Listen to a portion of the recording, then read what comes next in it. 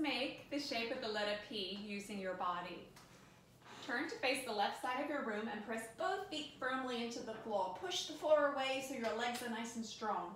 Choose which leg to stand on, so you're going to either lift your left or your right leg. It doesn't matter which, but whichever leg, leg you do lift, make sure the remaining leg stays as strong and active as both legs are now.